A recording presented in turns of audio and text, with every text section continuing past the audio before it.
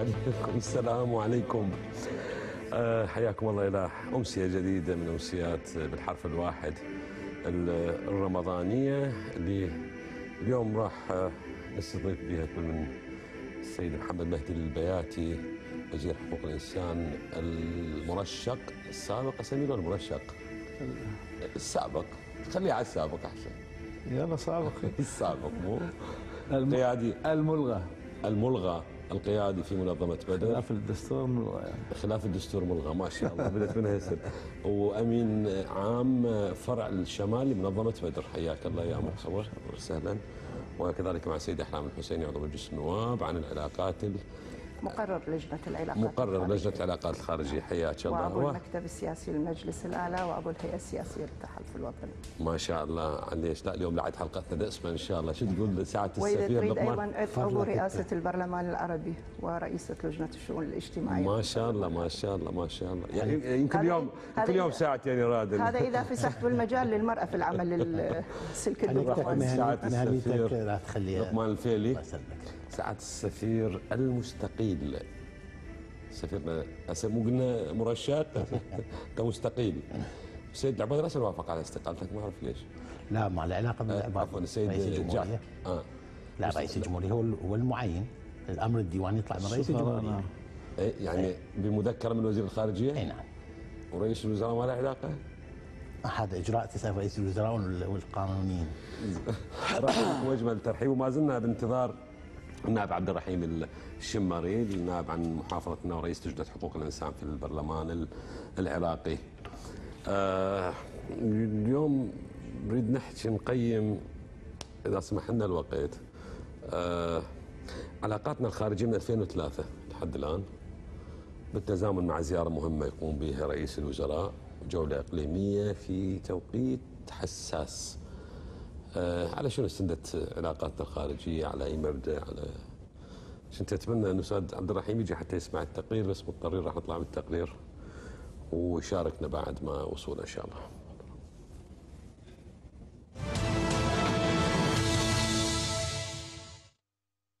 هنيال العبادي راح يفطر ثلاث أيام بثلاث دول لأنه على سفر وشلون سفر؟ سفر لثلاث عواصم اثنين منهن ممكن يعص من العراق من المشاكل وممكن يغرقنا بالوحل والدم. نقصد الرياض وطهران الرويسية واللي كل طرف فيهم يصوم بموعد ويعيد بموعد. والعراق بينهم مشطور شطرين شطر يصلي ويا هذا وشطر يفطر ويا ذاك. إي نعم سواها رئيس الوزراء وطار للسعودية ومنها يحول لايران ووراها يروح للكويت. مصادرنا الخاصة تقول إنه الزياره اقتصادية وبها جانب عملي يتعلق بصفقات تجارية ضخمة راح تتوقع ويا الإيرانيين. ونفس الشيء ينطبق على السعودية لأن أكو قضايا استثمار متبادل ويا السعوديين. وإذا صح هالشيء فراح يعتبر تطور جيد لأن السياسة تتأثر بالاقتصاد. وأكو قاعدة تقول إذا ردت تأمن شرور بلد معين فاعقد وياه اتفاقيات وأوروبا وياك بمصالح تجارية. بس مع هذا الأمور مو بهالبساطة. العراق جبهة متقدمة بمعركة الإقليم كله. لهذا يتبادر للذهن انه الجولة بها وساطة أو محاولة لتحييد العراق من صراع السعودية وإيران. وهذا الانطباع يقوى مع وجود الكويت بالجولة. تعرفون شخصية الكويت القوية واللي ياما لعبت دور حمامة السلامة بصراعات الخليجيين وآخر ما شفناه هو وساطتها بين الرياض والدوحة. لا بل إنه قبل أشهر انحكى بالكواليس عن وساطة كويتية معينة بين محور السعودية وإيران. وبوقتها تسرب إنه العراق له دور بالمحاولة. مو مشكلة كل شيء ممكن طالما إحنا بجو صراع محتدم. بس المشكلة بالأسئلة اللي تثيرها المحاولة. مثل السؤال عن خلفية الزيارة وفق أي أجندة صارت. أجندة العبادي الشخصية بوصف رئيس وزراء يريد يجنب بلده صراعات الإقليم لو أجندة خارجية أمريكية تحديداً للضغط على إيران حتى تتراجع بالميدان العراقي لصالح محور الخليج أمريكا. ظاهر الأمر أنه سياسة العبادي هي هاي. إرضاء كل الأطراف المتصارعة حتى العراق يتجنب شرها. ومنها تجي أهمية الصلاة بمكة قصرا وبقوم قصرا. وتحصيل ثواب تراويح سياسية بالرياض وثواب دعاء أبو حمزة الثمالي بطهران. بس يا ترى أكو امكانيه لنجاح هيك محاولة بظل انقسام الموقف الداخلي العراقي؟ من يقول العبادي ماخذ آراء القوى السياسية كلها؟ وشلون ممكن يقدر يفرض رؤيته العملية بالحياد على أطراف مسلحة تتبع الولي الفقيه؟ دول راح يسكتون مثلا لو يرفعون شعار المن تريد الحيل يا أبو سكينة؟ أسئلة ما ممكن الإجابة عنها طالما إحنا بأجواء إقليمية سريعة التغيير. وساعه الساعة تفاجئك بشيء ما متوقع. وإلا منو مخلي بباله الخلايجة يكسرون عصات قطر بهالطريقة شفناها. منو اللي كان يتوقع مجيء ترامب بهالعراضه اللي صارت بالرياض بحيث العالم شعر وكأنه الحرب مع إيران على الأبواب؟ لا تنسون هنا انه اتساع الاستقطاب الإقليمي المضاد لإيران كان يغمز للعراق من جوا لجوا يغمز له بإيحاء إنه العراق تحول بالكامل إلى حديقة خلفية لطهران وصعب التعامل وياه كشريك بمحاربة الإرهاب.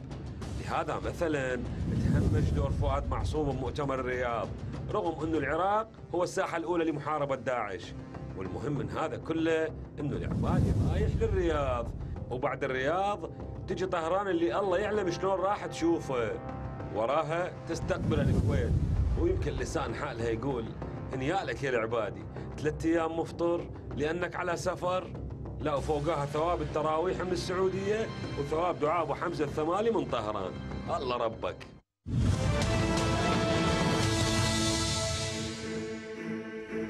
أريد أبدي بس- بسؤال. أحد منكم شاف سيد العبادي نزل من الطيارة ورايح بالسيارات وين؟ لو بطياره شلون سيارة؟ سيارات لو راح بطيارة.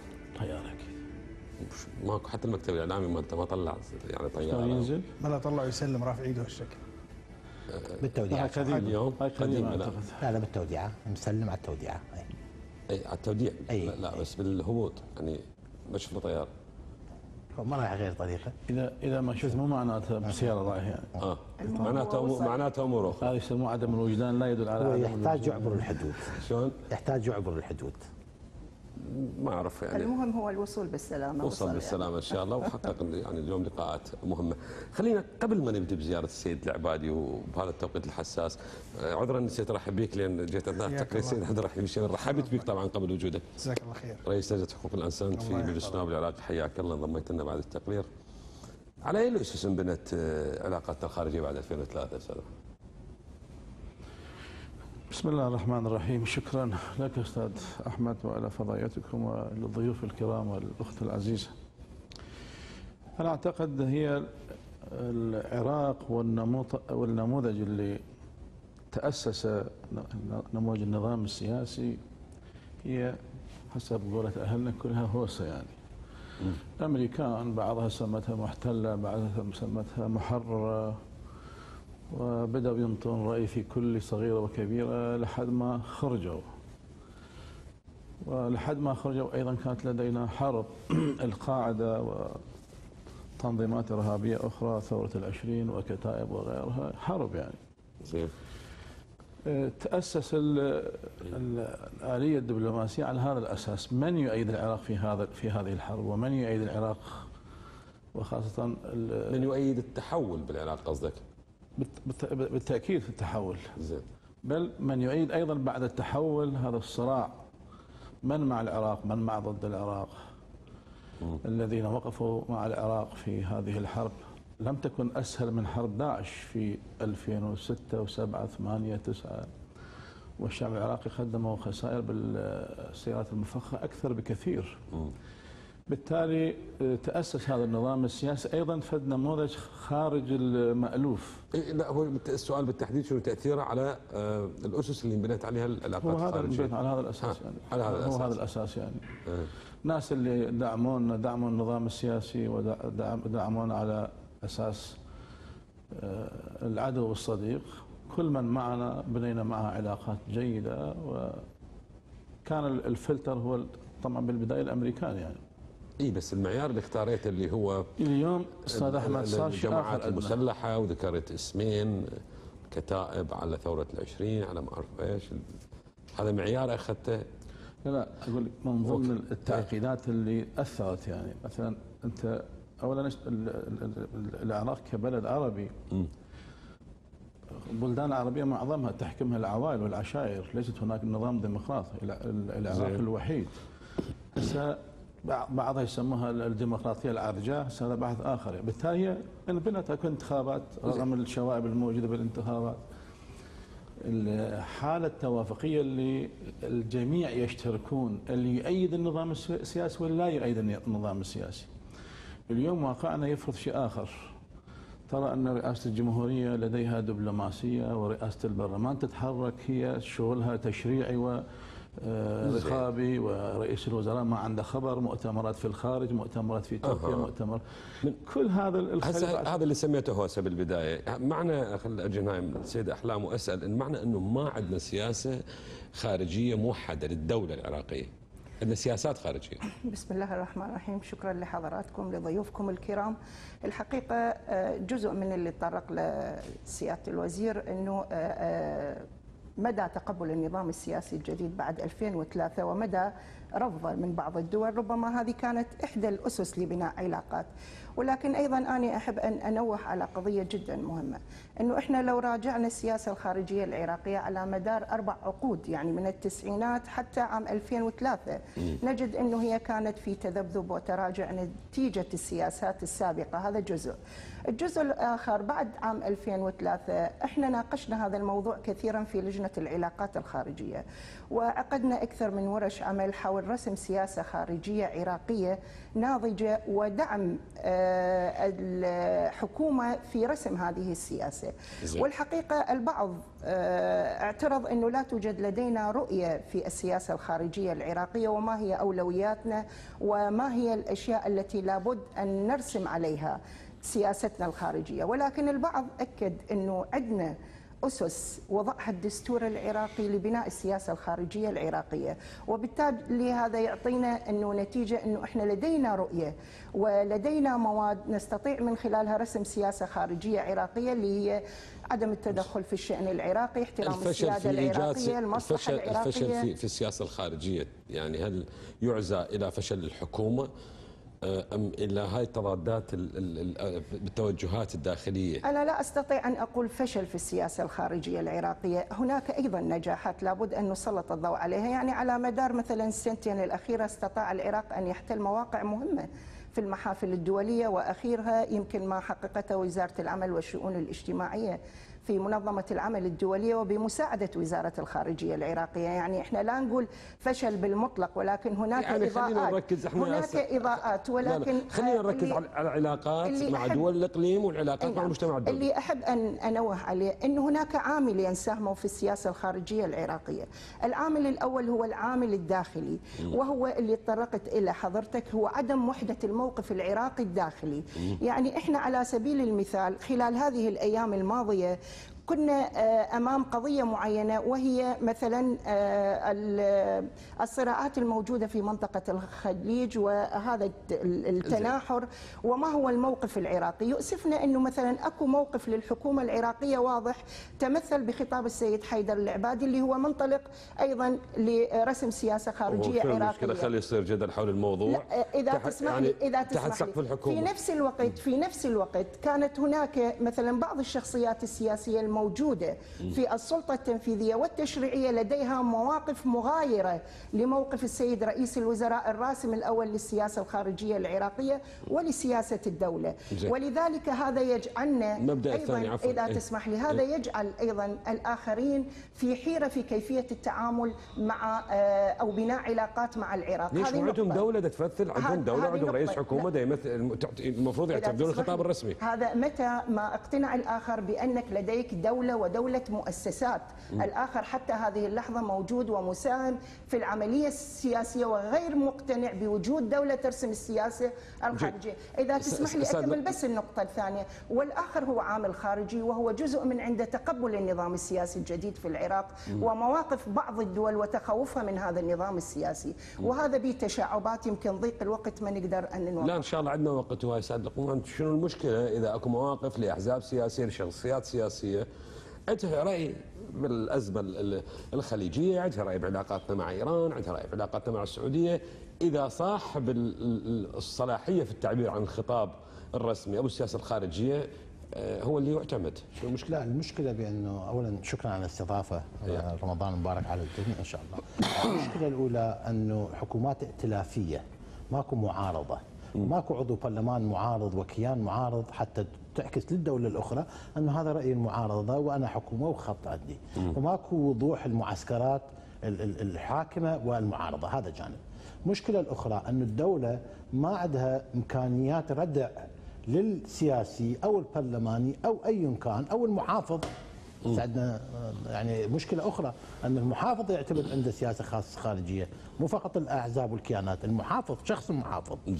هذا أيضا ماكو ردع عراقي له يعني ماكو حازم له بالتعاطي بأن هذا ما عملته أو قلته أو اجتمعته أو طلبت من السفير انه يحضر اجتماع معين معك في مع عضو كونغرس معين أو مع السياسي للدولة المعينة ماكو مانع فبالنتيجة شو يصير؟ يصير نوع من الفوضى بأنه أي كيان اللي مشارك بالحكومة الائتلافية اللي هي بطبيعتها تكون ضعيفة هي حكومة نسيجها ضعيف يعني أقل العوامل المشتركة هي حكومات الائتلافية تكون فعاليتها قليلة.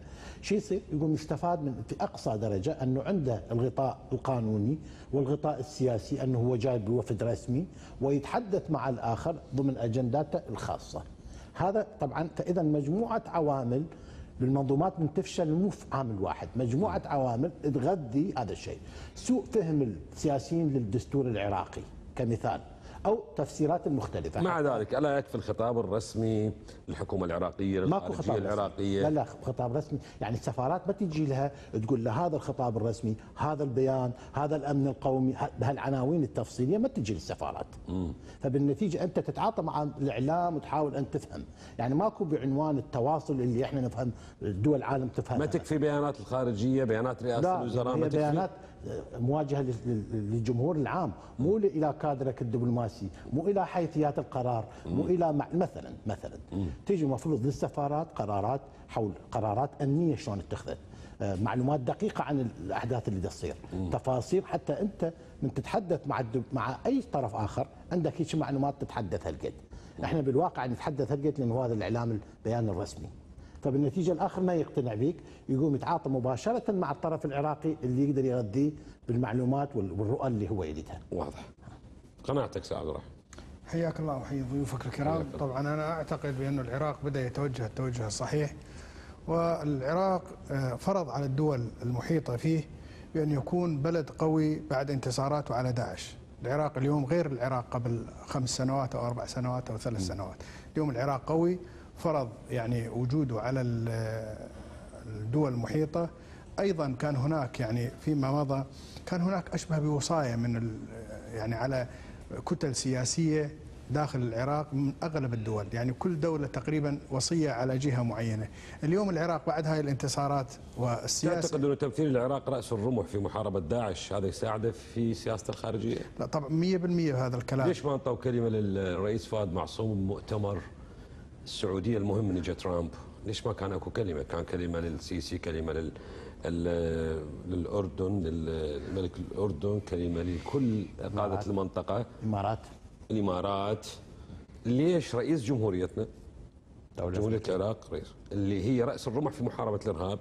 وترامب جاي يريد يسوي حلف لمحاربة الإرهاب بالمنطقة، له هو- كلمة إذا هو عنده هذا هذا الموقع. هو ضعف حقيقة يعني برئاسة الجمهورية أولا آه، عملية الاستقبال وطريقة الاستقبال كانت غير صحيحة الرؤساء الآخرين آه، لا, استقبلوا لا الاستقبال كل لا لا أ- أ- أمير منطقة الرياض استقبل معظم الرؤساء هاي. وحدة. أنا يعني أنا أتكلم على رئيس العراق. أنا رئيس العراق. يفترض يحضر لي كل شيء. يحضر لي شنو دوري منو يستقبلا هل لي كلمة أو ما لي كلمة. يفترض هذا راح ترجعني الموضوع. ليش ما. طلعت الطيارة مال العباد اليوم؟ لا لا هو هو هذا هو هذا حقيقه حقيقة هذا ضعف. أما اليوم استقبال السيد العبادي وجود السيد العبادي سياسة الدولة العراقية والسيد العبادي ص- صراحة أدت يعني بتقدم بالعلاقات العلاقات الخارجية الخارجية. وهذا شيء واضح جدا يعني. زين. نطب هسه بالتفاصيل. زيارة في هذا التوقيت أستاذ محمد في هذا التوقيت الحرج زيارة للمملكة العربية السعودية بعد زيارة ترامب. صح أكو زيارة بعدها لطهران يبدو الأمر متوازن. كثير أيضا سمعنا اعتراضات على زيارة السيد العبادي أه، هل من الحق احد أن يعترض على أه، تحركات أه، رئيس وزراء يشوف من المصلحة أن يمد الأواصر مع دول الإقليم؟ يعني آه، رئيس الوز- الوزراء هو المسؤول التنفيذي بما فيها السياسة الخارجية هو المسؤول عنها نعم هناك أزمة آه، ولا تنسى أستاذ أحمد العراق منذ حتى قبل 2003 لم تكن هناك علاقات وطيدة بيننا وبين السعودية ولا بيننا وبين الدول العربية بشكل عام حتى الكويت يعني. التحول اللي جاي حتى من بعد 2003 إلى هذا اليوم يعني. مثلا شوف مثلا زمن علاوي جمود وثم انفتاح قليلا. زمن سيد الجعفري جمود العلاقات. زمن سيد المالكي جمود بالكامل يعني. هسه انفتاح لا بأس يعني. السعودية مهمة دولة مهمة وإقليمية وجاره يعني يكون عندنا علاقات معها يعني. وأبسط شيء عندنا موسم الحج يعني حج واجب. يعني شلون منين نروح يعني؟ شلون نروح يعني؟ فأعتقد هاي العلاقات مضر يعني بس توقيتها ربما الحديث يكون في توقيتها. حتى التوقيت حتى التوقيت. الخلاف الخليجي الخليجي؟ حتى التوقيت أستاذ أحمد هي كلها توقيتات يعني. أه. يعني نزور الكويت عندنا مشكلة بالكويت. أراضي وهوسه وحدود وفلوس واموال و... تزور سوريا هم أيضا توقيتها مو صحيح، تزور تركيا أيضا توقيتها مو صحيح، تزور قطر توقيتها مو صحيح، وين نروح بعد؟ تزور إيران توقيت مو صحيح، أي توقيت صحيح راح يصير يعني. فاذا نكون ازور الكل إذا نريد إحنا العراق يبقى عراقا موحدا وعراقا معتدلا بالمنطقة. مثل ما بالضبط هو المعتدل. أكثر سؤال انطرح إنه هل سينجح العبادي؟ في أن ينأى بنفسه بحكومته بالعراق عن أن يعتبر محسوب على محور. واليوم المؤتمر الصحفي حكاها العفو قاطعتك. حكاها اليوم المؤتمر الصحفي. وقال إنه إحنا نسعى إنه ما نكون محسوبين على محور. لا بالأزمة الخليجية الحالية ولا بالقطبية على ضفتي الخليج. تعتقدين قادرين نطلع أو واقعنا؟ أنا أعتقد أستاذ أحمد أعتقد م- ملاحظة اذا اسمح لي. إحنا إذا بكل زيارة رئيس إن إلى دولة أخرى. نعتبرها مثل دي- زياره كيسنجر إلى الصين وانفتاح دول على بعضها. فاذا إحنا عندنا مشكلة مع كل البلدان الأخرى مثل ما ذكر الاستاذ محمد. زين. الزيارات هذا هم خلل بالدبلوماسية العراقية أو إذا صح التعبير بالثقافة العراقية بالتعاطي مع هالزيارات. الزيارات تكون خاتمة إلى تحضيرات أخرى مو مقدمة إلى فتح علاقات. يعني المفروض تصير زيارات على مستويات أخرى سابقة. لوكلاء الوزراء للوزارات المعنيه الخبراء للتهيئه لمثل لا لا مو خبراء فقط. شنو هي الملفات اللي تناقشها؟ ما هي نقاط الاشتراك؟ مو الرئيس خلال نص ساعة أو ساعة بين الملك تحاول أن يفهم كل الموضوع العراقي ورئيس الوزراء عنده كل الدقائق المعلومات مو هيك هي. هي تكون الزيارات تكون خاتمة إلى تحضيرات أخرى. يعني معلوماتي إنه الدعوة وصلت للسيد العبادي منذ زيارة عادل الجبير لبغداد يعني صار أشهر. مو وقبلها. فقط. لا فخلال هاي الأشهر أكيد تم ترتيب ترتيبات أنا أنا معينة. هاي كلمة أكيد هاي يكون أنت تدقق من عندها. آه. كم وفد كم حوار كم مثلا مثلا هل الطرف الإيراني عنده تفصيل من هم الأطراف اللي يحضرون الوفد العراقي معه يعكس هذا الشيء حسب قناعتي ماكو شيء. أو حتى السعوديين أو حتى الآخرين أو حتى الوفود من تجي نقطة للعراق مهمة يعني أتحدث دقيق. مع رجل دبلوماسي. لا هي يعني هل يعقل أنه وفد يروح وما مرتب وضعه ويا ما راح يلتقي؟ قد أكو ناس مشتغلة قبل أنت تقول اللقاء لي يعقل أنا أقول لك أنت لا أنت قول لي إذا أنت رجل دبلوماسي أنا راح إذا ماكو شغل فهاي ممارس. كارثة. طبعا أنا راح أعطيك ممارس. راح أعطيك ترجمة واحد ممارس. وصاحب ملفات ومتعاطي معها. التحضيرات الوزارات على مستوى القانوني والأمني وغيرها للملفات مو بالمستوى المطلوب. مو بالمستوى المطلوب. فالمسؤول من يروح يعني مثلا أنا حضرت حضروا مسؤولين عندي مع اللجان مالتهم ما مجتمعين إلا في السفارة عندي من وصلوا. يعني بالطرف العراقي ما قعدوا يتفقون على على أجندة على الزيارة. لا على التفاصيل. المسؤول حتى عنده المعلومات كاملة. ويقرأ ال- ال- ال- ال- ال- النقاط اللي عنده talking point أو غيره. هذا خلل عام عندنا. إحنا ننظر إلى الزيارات مثل زيارات العشائر والصلح. الزياره هذا السعودية مو عشائريه هي تحتاج تحضيرات. تشكلت لجنة تشكلت لجنة تنسيق بين العراق والسعودية بعد زيارة عادل الجبير حول شنو؟ يعني حول الملفات اللي ممكن يبحثها وزير العبادي وكيل وزير أستاذ نزار راح. آه، رئيس دائرة العربية راح. وآخرين والسفير السابق في الكويت أتذكر أيضا راح. هذا مو كافي حتى علاقات هي بها جلود بها جمود تحاول أن تذللها. مو كافي. لأنه مثلا كثرة الملفات اللي عندك معها الملاحظات اللي عندك معها المشكلة الأساسية أنه إحنا ما نهيئ مستلزمات الدولة داعشة. واضح، واضح. ما مدى اليوم فبالنتيجة السياسي شو يقول؟ أنا مضطر أنا أروح حتى لو أقل الخسائر على الأقل أكسر هذا الجليد الموجود. وهذا بده يصير في كل خليني أعطيك رقم آخر. إيه. اقبل لك الفكرة. هل عندنا قلة زيارات مسؤولين إلى دول أخرى؟ ما عندنا. كل المسؤولين العراقيين زايرين أغلب الدول الأخرى. يعني أكو سفر أكو أكو زيارات. أحسن. هل هذا أعطانا اطمئنان انه علاقاتنا مستقرة مع الدول الأخرى؟ لا. اذا هاي الزيارات أقرب إلى البروتوكول. أقرب إلى إبراء الذمه أقرب إلى مجاملات. تعريف الشارع. ترتيب ما لها أثر. من أن تكون إلى لجنه العلاقات الخارجية ما جاي تراقب زين. لا الحقيقة أنا شوية أتفق مع الدكتور وأختلف معه في بعض النقاط. آه، أول قضية أنه فيما يخص السفارات والسفراء وأنه ما يوصلهم شيء من وزارة الخارجية حول المواقف. ولكن حسب متابعتنا نجد أنه كثير من السفراء في السفارات يتعاملون مع المواقف العراقية وفق أحزابهم. باعتبار هم جزء من وهذا. لا لا وهذا جزء من الخلل إذا. تسمع لي تسمع لي خلل دكتور. وهو هذا واقع. يعني إحنا نحشي نتحدث بواقعيات. هذا واقع. يعني اليوم أنت تدري قضية السفراء هي قضية أحزاب ومرشحين من أحزاب حتى وإن كانوا داخل الوزارة نفسها. وبالتالي هذول يتبنون آه، متبنياتهم أحزابهم. تعتمد على مواقف الجهات السياسية اللي هي صعدتهم أن يكون سفير. وهذه مشكلة من المشاكل العراقية التي لمسناها في هذا السياسة ظلم إلى الخارجية. زملائي ظلم إلى زملائي أقولها يعني بكل اطمئنان. خلينا نقول خلينا نقول اطمئنان تسمح لي. خلينا نقول نسبة 50% من. عندهم يتعاملون ظلم. بهذه المواقف. 50% من ظلم. يعني- لسبب بسيط أن البرلماني أو السياسي مسبقا عنده حكم على الآخر من أي كتلة جاي. ماكو مرة إجاني مسؤول إلا يريد يعرف من عندي خلفيتي السياسية وانتماءاتي وين كانت أي مسؤول كان وبناء. عليها يحكي وياك ها؟ بناء عليها يتعاطى بالمواقف بناء. عليها تشوف آخر الزيارة غير موقف عندما تعكس حضرتك دكتور إذا. تسمح لي أنت اليوم حملت. الحكومة العراقية ووزاره الخارجية مسؤولية انه السفارات لم تأخذ دورها الحقيقي في معرفة الموقف العراقي وهذا أيضا. بظلم وبتجني على هسه أنا من دور الرقابه كن ما أدافع عن وزارة الخارجية وإنما أراقبها وهو بالفعل هذا دورنا ولكن أيضا يتحمل المسؤولية كثير من السفراء التي مواقفهم تنبني نتيجة مواقف جهاتهم السياسية وأحزابهم تقارير من الوزارات الأخرى هذه وهذه احدى إذا تسمح. لي واضح إذا هو شنو اللي جرى لهذا الجدل؟ إذا جرى لهذا الجدل السيد العباد اليوم راح للسعودية إذا يسمح لي أحمد عفوا بس أوصل راح الفكرة. زيارة مجاملة بنص ساعة يقعدوا ويا الملك لا هذا يسولفوا له اكو ملفات. لازم هذا تنحسم أختلف به لا، هذا. أختلف به اولا تختلفين بها. اولا آه، حسب معرفتنا وحسب متابعتنا حتى قبل لحظات انه هناك ملفات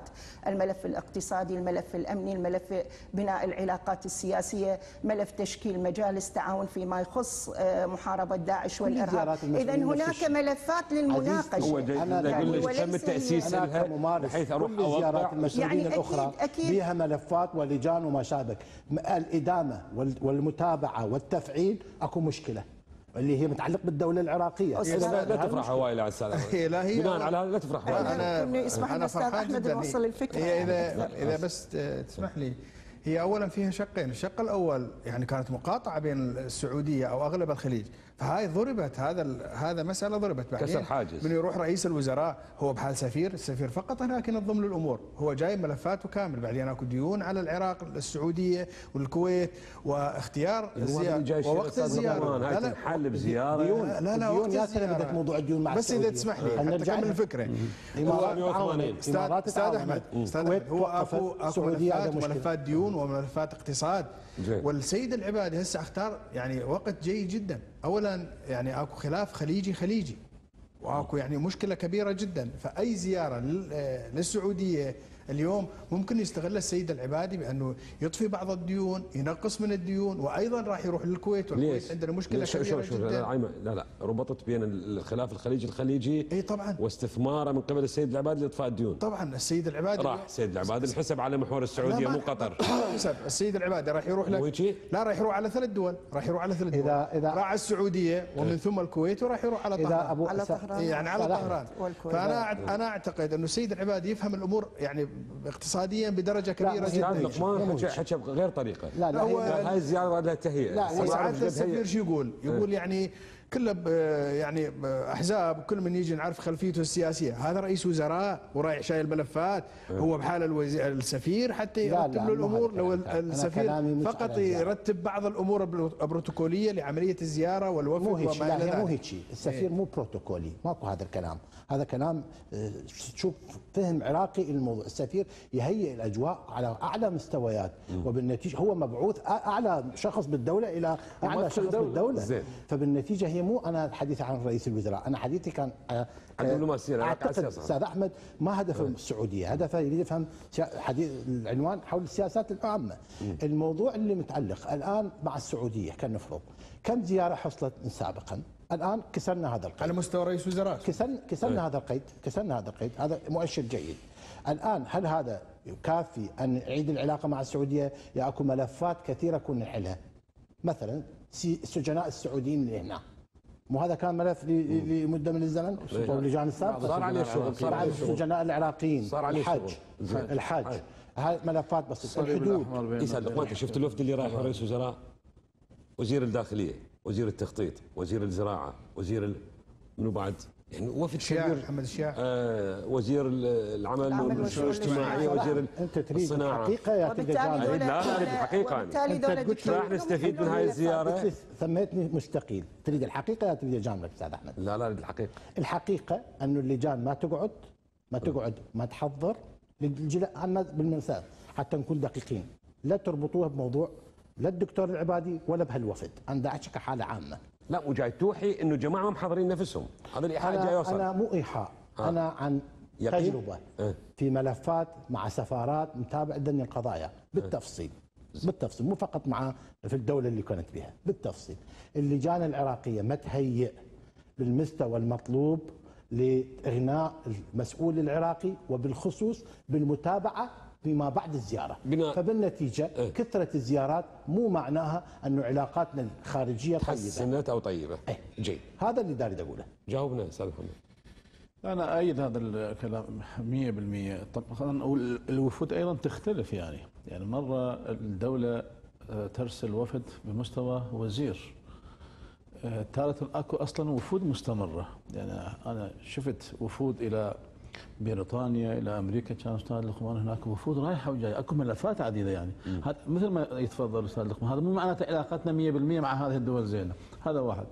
اثنين رئيس وزراء عندما يذهب مرة يكون زيارته سياسية صرفة. رئيس وزراء والسياسيين وزير خارجية. طبعا بعض المرات من الموسم حتى وزير خارجية ما يل- ما يلتحق يعني يروح وين. زين.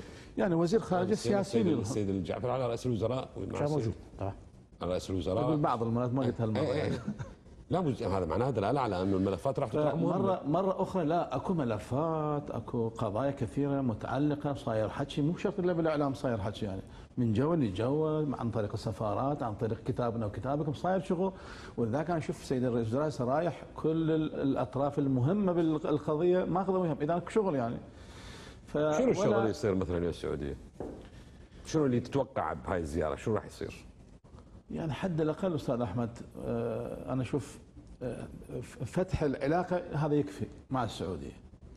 يعني لا تعادينا ولا تراعي الإرهاب، لا تراعي السلفيين، لا تراعي الوهابية، لا- مثلا حد الأقل بهذا المستوى تحييد السعودية ضد النظام السياسي في العراق أنا أعتقد هذا أكبر انتصار.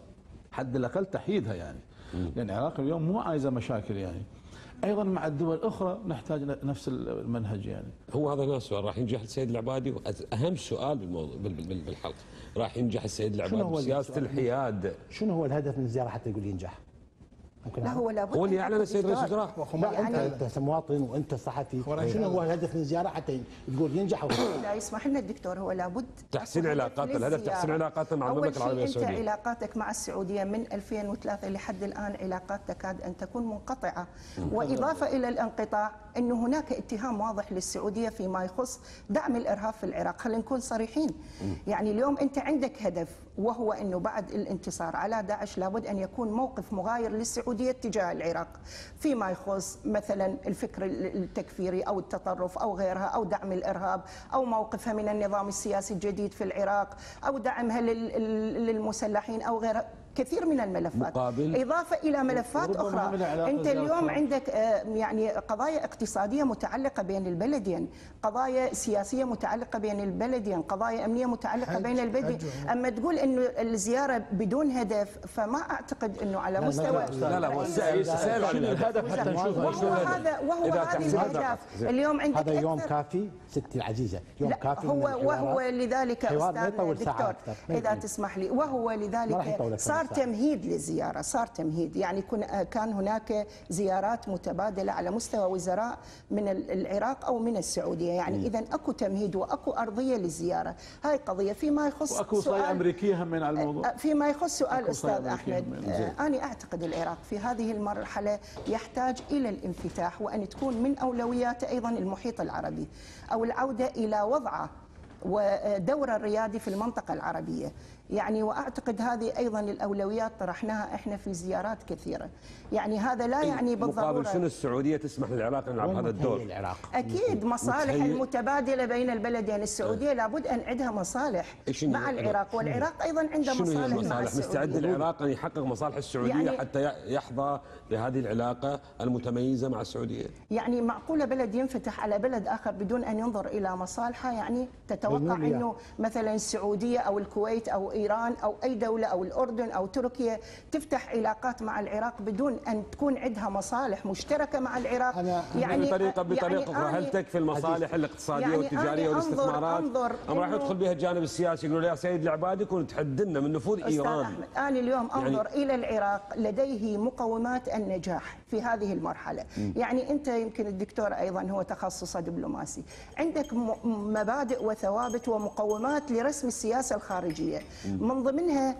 يعني الموقع الاستراتيجي والجانب الاقتصادي وغيرها ومن ضمنها أيضا القوة العسكرية أنا يعني أعتقد أنه العراق بعد الانتصارات التي تتحقق. أصبحت لديه قوة عسكرية وأصبح البلد الوحيد الذي استطاع أن ينتصر على داعش.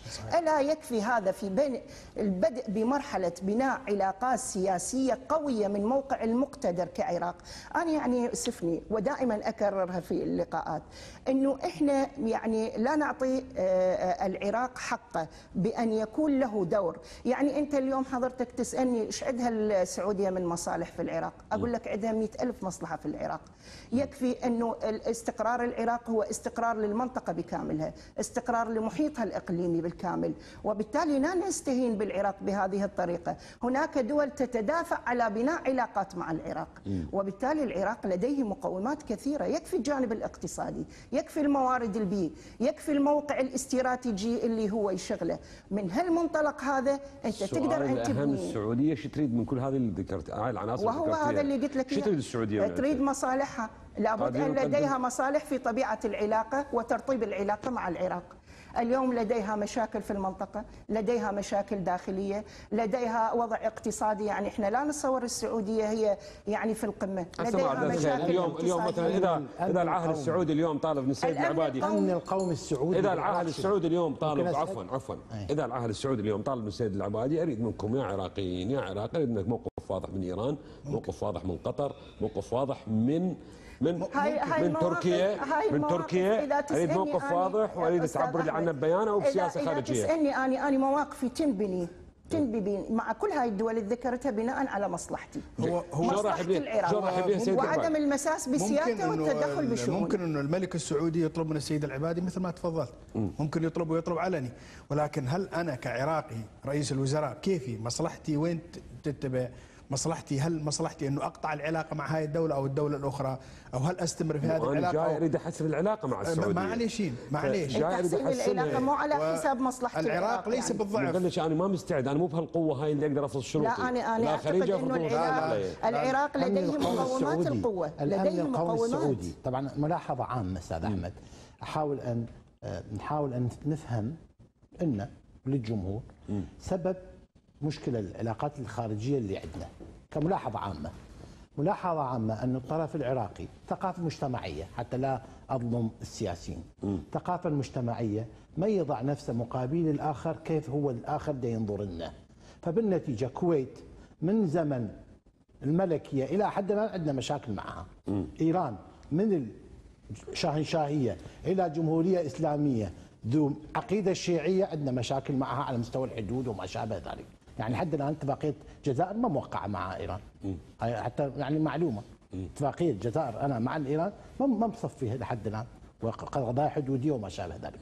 المشكلة المجتمعية العراقية أنه ما يضع نفسه مقابل الآخر يشوف الآخر شلون يقيم. العلاقات. فبالنتيجة كسؤال ما هو الأمن القومي السعودي باتجاه العراق؟ نقطة أولى وأخيرة الآن هي أن العراق لا تكون نقطة ضغط على السعودية من منطلق إيراني. اي هذا نقطة الأمن القومي هذا أحكي الآن السعودية ما. تحتاج فلوس العراق يقدر. يعني هذا يعني نقدر نقول إذا هذا النقطة الأساسية اليوم. طرحت على السيد العبادي المفروض تنطرح المفروض من قبل مؤتمر السعوديين مؤتمر ترامب كل هذا كان مؤتمر ترامب فإذا هنا هاي النقطة الأساسية. أستاذ أحمد شوف نرجع حتى نكون دقيق حتى. أنصف الرجل ليش راح هذا مهم زين. إذا تحكي لي بأن الوقت إذا تنظر له بس بهالملف فإذا المفروض ما يروح سياسيا حتى لا يحط نفسه في منطقة آه، سؤال صعب ما يقدر يجاوب عليه. إيران بعدين؟ إذا تقول لا لا هي مو هي, مو هي قال لك أستاذ سيدنا العزيز إنه دائما عندنا توترات بالمنطقة فما ما يسافرون هاي هم غلط.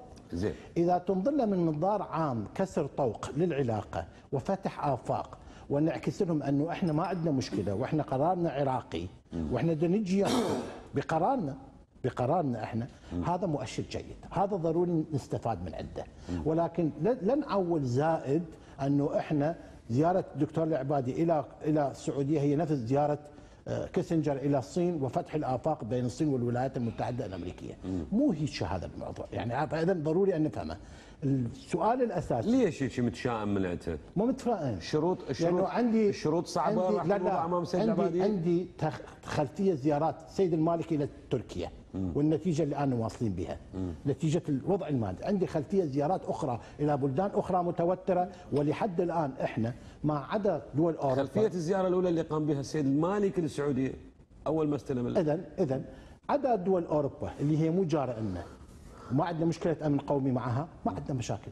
دول الجوار عموما عندنا توترات بالعلاقات اللي وياهم.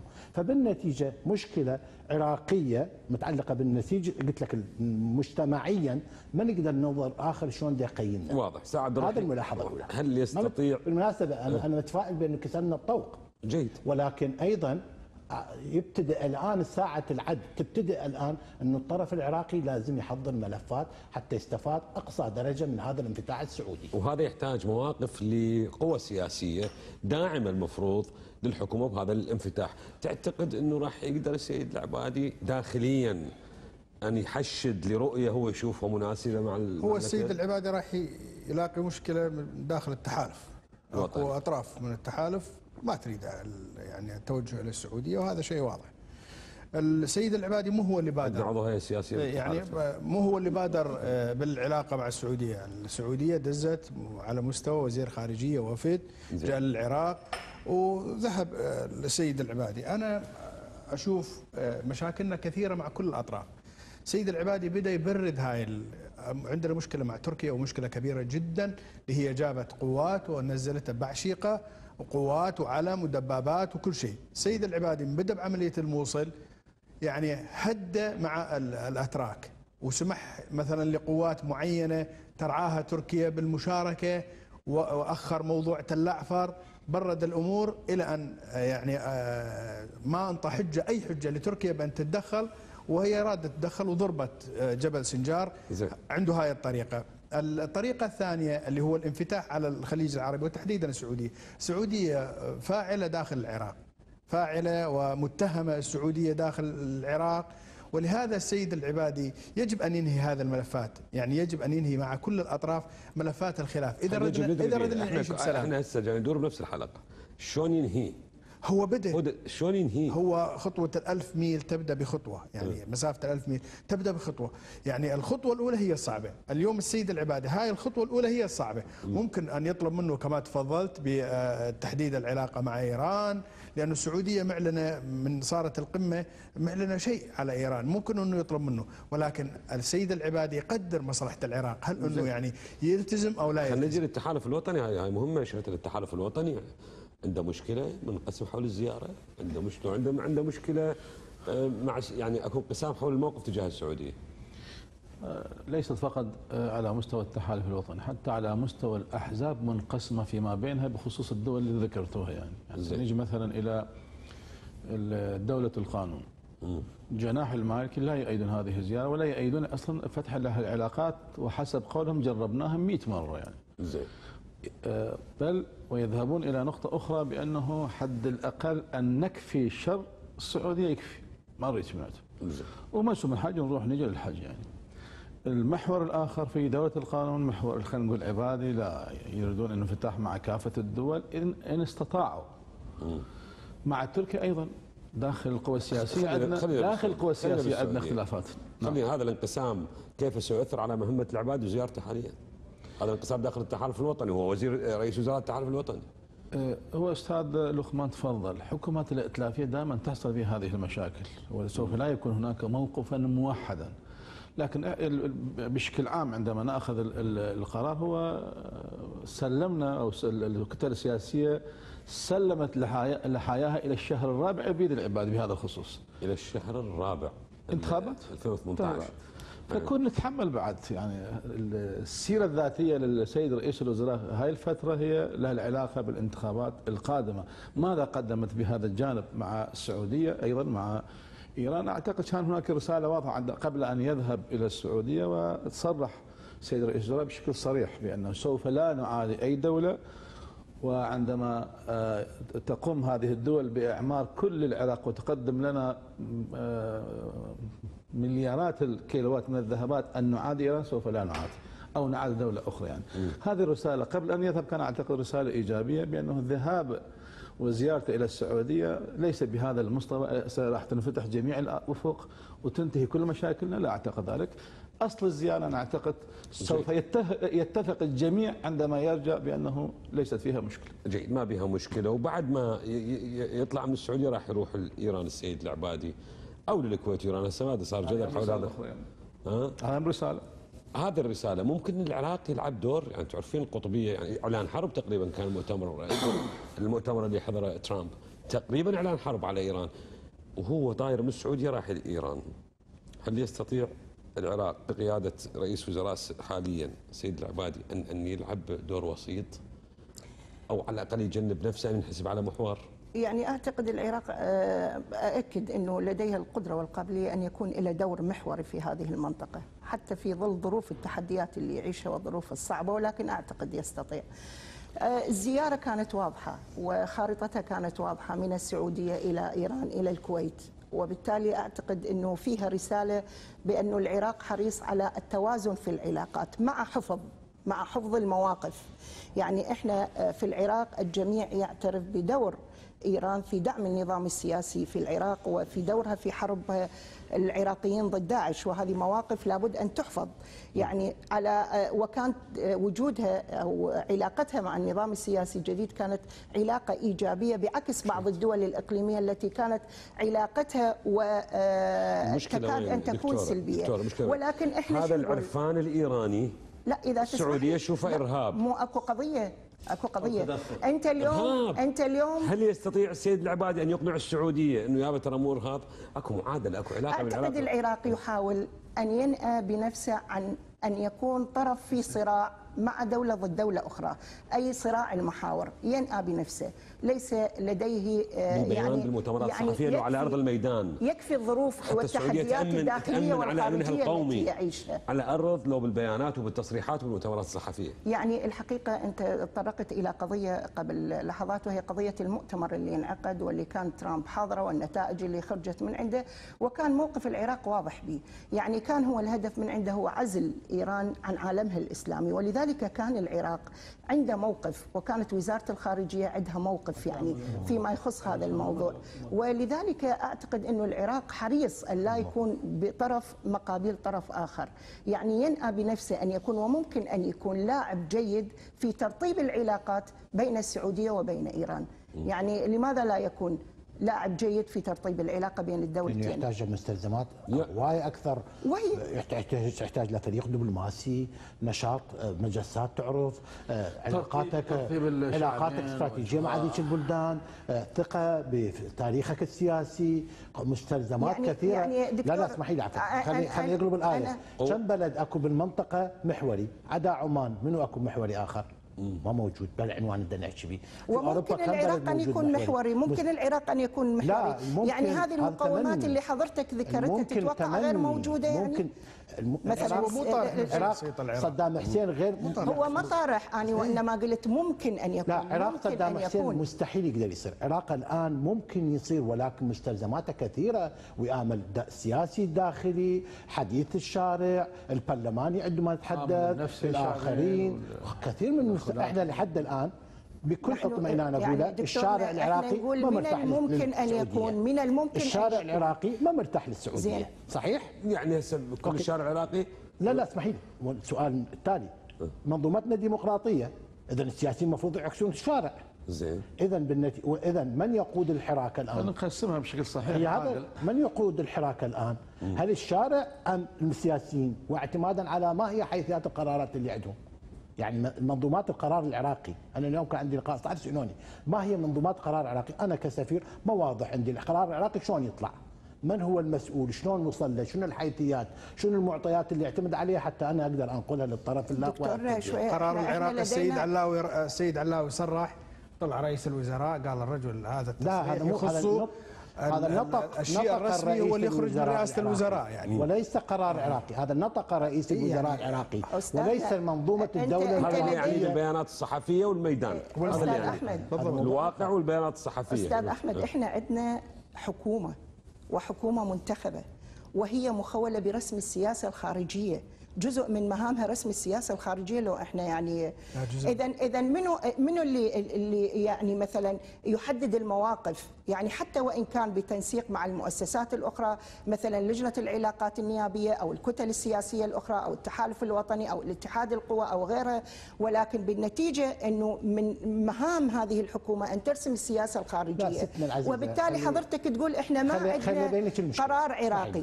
يعني لي، أنا راح يعني أكون اليوم من برا دا أشوف المعادلة العراقية. اسمحوا لي. كش- مهنيتي عملي السابق سمح لي أن أرى الآخر كثيرانه أكثر من عندكم. اسمحوا لي أقولها. يعني كنتيجه الشغل الآخر الآن عندما السيد علاوي يعطي تصريح. تريدون تقولوا لي الآخر راح يحلل. أو يسافر يزور. اي أو مثلا يسافر رئيس البرلمان إلى تركيا إلى قطر. إلى اسمح لي. قطر وتركيا. ملاحظتي كالتالي ملاحظة أرجو أن تكون يعني تستوعب بدقة. هل نأمل من الآخر أن يفهم المعادلة العراقية بتعقيداتها بالتفصيل حتى يقدر يفرز هذا رأي رسمي وهذا غير رسمي وهذا رأي شارع وهذا غير شارع؟ ما عنده شيء. المقابل ما عنده قدرة أن أن يصرف ذاك الوقت حتى يفهم المسؤول الفلاني شنو خلفيته وشنو أثره. ماكو شيء جيد، خلينا هذا عبد الرحيم. مخابرات. مو عالم سياسة خلينا نقول أستاذ عبد الرحيم. يعني زيارة الدكتور سليم الجمهوري ال- ال- قطر في عز الأزمة الخليجية ثم زيارته إلى تركيا في عز الأزمة الخليجية ووقوف تركيا مع قطر. آه، تصريح الدكتور اياد علاوي من القاهرة أول البارحة يمكن قبل يومين. أو تبعها أو البارحة من صرح إلى جانب السعودية بالضد من قطر. هذا شو فهم ثم السيد. المراقب؟ هو- آه، تصريح السيد مسعود فرزة هذا شو فهم المراقب؟ هو آه، يعني- بالنسبة للدكتور سليم شغلة واضحة.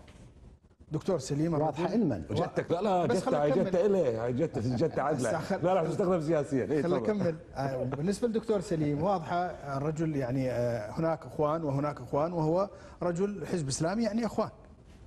فهذا جاي أحكي عن دكتور لا، جاي أحكي عن دكتور سليم الجمهوري رئيس مجلس النواب أنا العراقي. حكيت لك على دكتور سليم. وجاي أحكي عن دكتور اياد علاوي نائب رئيس الجمهورية. هذا هذا الموقف واضح. هذا الموقف واضح إيه. بالنسبة للدكتور اياد اياد علاوي من طلع الموقف قالوا هذا الموقف موقف يعني يحدد نفسه حتى طلع طارق الهاشمي قال يعني عتبنا على دكتور علاوي بأنه القائمة العراقية كانت تدعم قطر، ليش صرح التصريح هذا؟ وهو كان رئيس القائمة العراقية.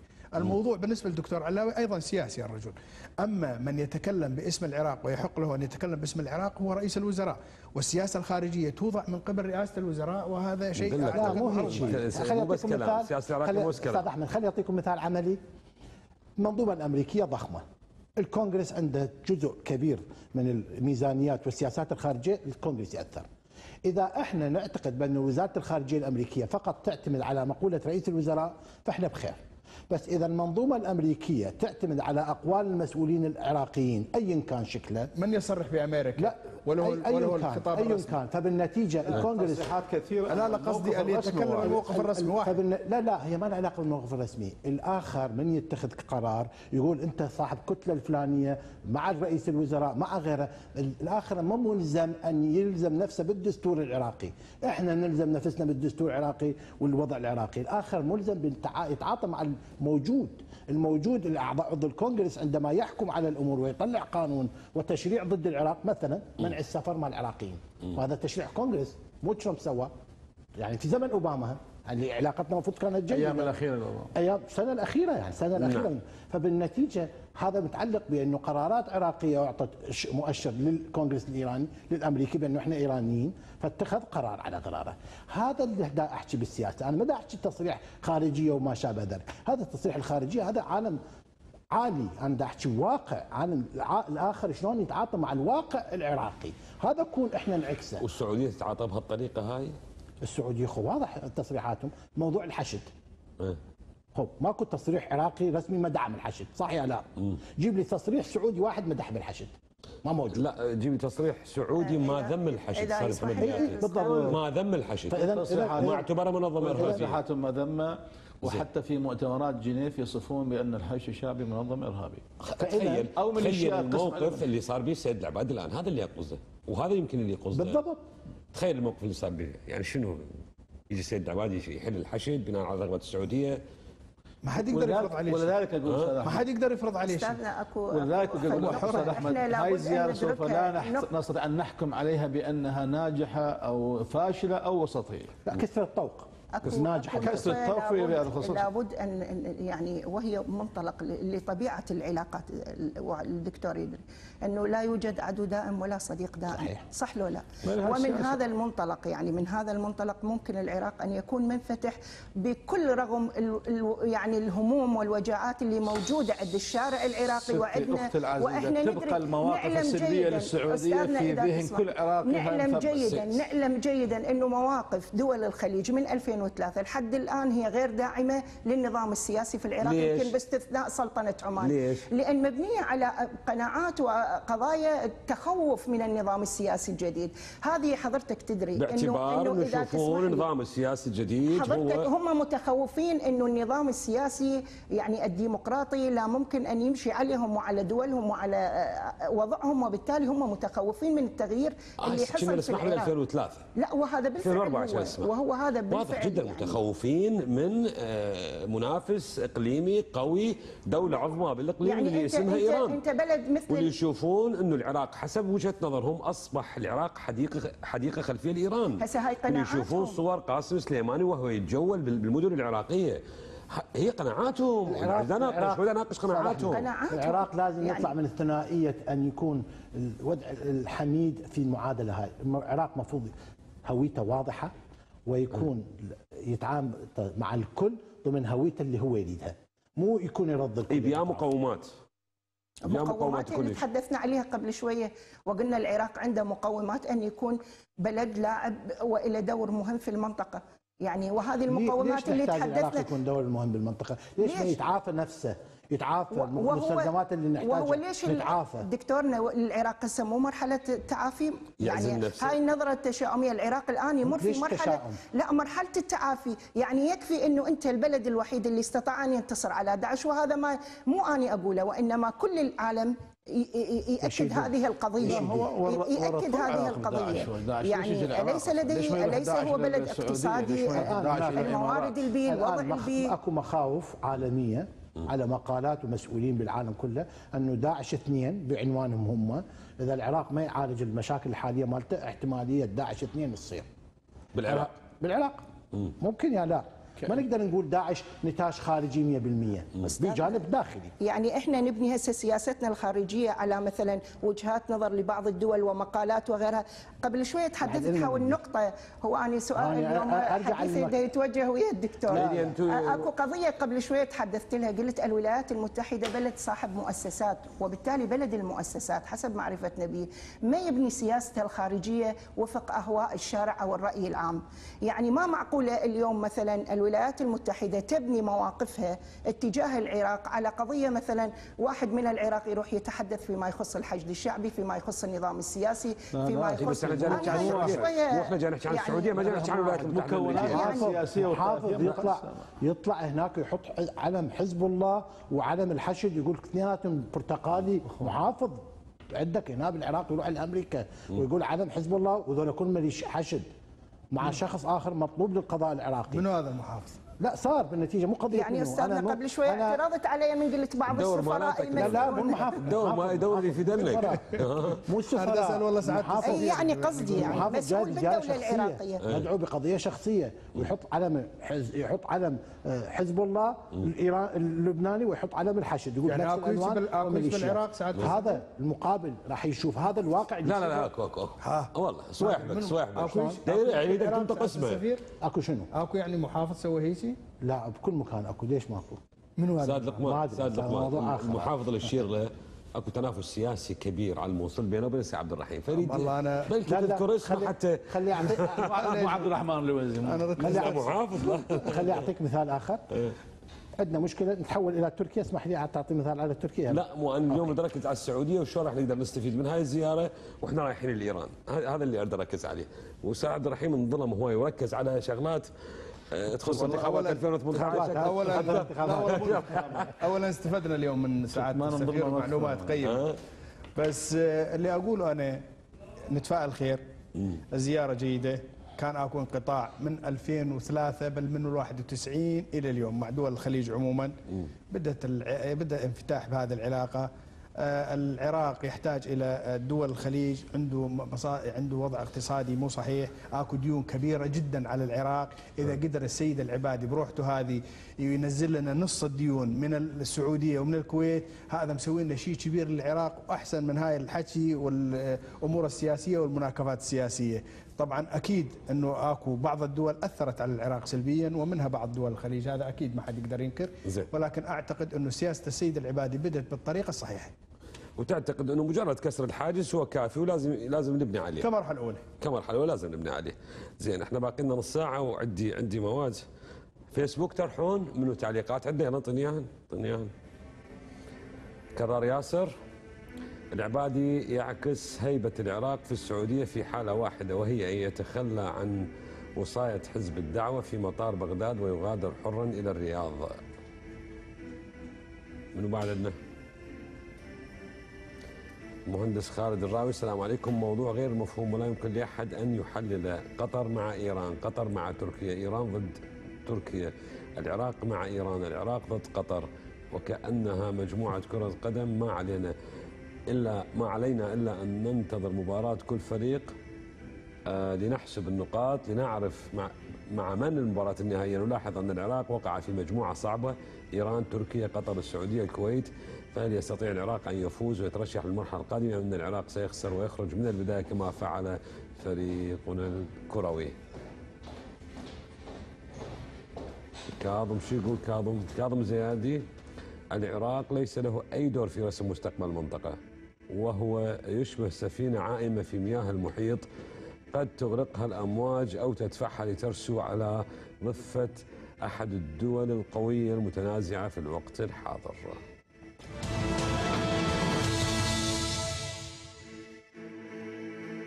اليوم عندي فقرة جديدة. استوحيتها من صفحاتكم في علاقه الفيسبوك. بالسعوديه؟ لا خلاص خلاص السعودية راح كافي أدشنها بينا. ها؟ راح أدشنها. راح أدشنها بيكم. آه كافي وصلنا إلى نتيجة بموضوع السعوديه انه كسرت حاجز ونأمل خيرا. بالعكس هذا هو كسرت حاجز ونأمل خيرا. يعني يعني إحنا- في في يعني في أقل الأحوال. صح. إحنا البارحة واليوم اليوم أحسن جيد. حالة بعلاقتنا من السعوديه من البارحة. جيد. خلونا نلعب جيت زيارة اليوم تلصصت على صفحاتكم بالفيسبوك وأخذت من كل واحد بوست يعني محدد. ومن عنده راح ننطلق إلى محور. ها شو هزيت راسك هو أدري إيش مأخذ أنت إيش مأخذ؟ يعني لو استفتاء لو بعد. لو كركوك. بعد. بعد. ماكو غير هذا ماكو غير ذني أعظم أزمة للعراق إن هذين الملفين أنا اخذت أعظم بوست عندك بصفحتك. أعظم؟ لطيف. أعظم بوست. لطيف. اعطوني اياه بس هيك ما أقدر أقراها. اسحبوا شوي بعد بعد بعد بعد بعد شوي شيء. هاي يوم هاي صفحتك مو؟ يوم ثمانية يونيو الساعة بالأربعة ونص مساء. البياتي يستنكر الهجمات الإرهابية التي تضرب. طبعا تضرب لازم تكتبها باختصار. العاصمة طهران. سلامات يا دولة الإسلام الصفحة الأصيل. سلامات يا دولة الإمام الخميني رضي الله عنه. سلامات يا أهل صاحب النبي صلى الله عليه وآله وسلم وخيرة صحابته وصاحب أمير المؤمنين. عليه السلام سلمان المحمدي عليه السلام. سلامات يا دولة الحق. سلامات يا إمامنا الزاهد آية الله العظمى السيد على الخامنئي. أنتم شعب أصيل لا نخشى عليكم من داعش. ندين ونعاضدكم ونقول للمجرمين الدواعش ابحثوا هنا ناسي عن ابحثوا عن دولة أخرى لتنفيذ جرائمكم. فإن إيران رقم صعب وسترون كيف تأكل جثثكم الكلاب في الشوارع. سبحان الله. البارحه الصواريخ الايرانيه هي هاي جواب صواريخ إيرانية عبرت عبرت الأجواء العراقية وضربت داعش في سوريا وضربات وستين. دولة عندها صواريخ. ما تحتاج دفاعك هذا وانت وزير عراقي. وهسه نحكي على الخطاب الخارجي. اولا شوف. أنت وزير عراقي وهذا صفحة رسمية لا لك. أتكلم شوف محمد مهدي البيات لا بها وزارة لا بها جهة سياسية لا بها اولا أستاذ محمد هاي بيها بعدين. بس لا اسمح لي. بيها بعدين. اسم. بيها بعد. هذا- اعتقاداتي طبعا. اعتقد آه. أنا بيها أنا, بعد. أنا مقلد الامام الخميني للعلم يعني. وما أجامل هذا بيها بعدين. اولا بيها بعد مبالغة. مبالغة وين يعني. المبالغه مثلا؟ مبالغة يعني هسه أنا ما يعني ما قاري لك بيان. مبالغة. ها؟ قناعته شنو؟ أنا أريد أبالغ في قناعتي. أنت شنو؟ لا لا, لا بالقياس. طلعوا لي البوست الثاني مال تفجيرات الكرادة. ليش تجبرني؟ ما ردت اطلع والله ها؟ تفجيرات الكرادة مال فوق منطونيه بوست الثاني الكرادة مرة أخرى يتحول داعش هذا العام من يمين الكرادة العام الماضي وأيضا في أقدس شهر وهو شهر رمضان وينتقل في هذا العام رمضان إلى ذات اليسار. وكالعادة الجريمة تنسينا الجريمة التي قبلها وسنسمع الإدانات وخاصة من السياسيين المسؤولين الأمنيين. وأما المواطن المسكين بعد أيام متى يحصل التفجير الآخر وما الضمان من عدم حصوله؟ الشيء الذي يدمي القلب أن المسؤولين الأمنيين كافة يدينون الجريمة المسؤول.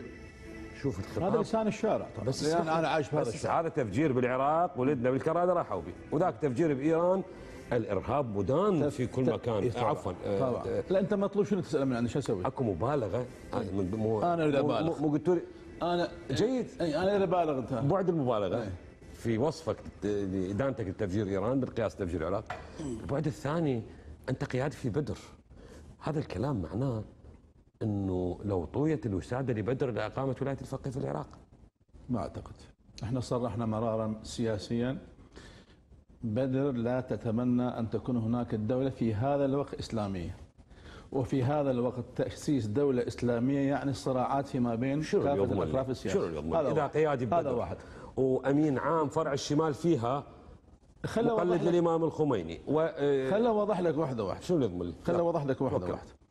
اولا الإرهاب مدان في كل العالم. زين.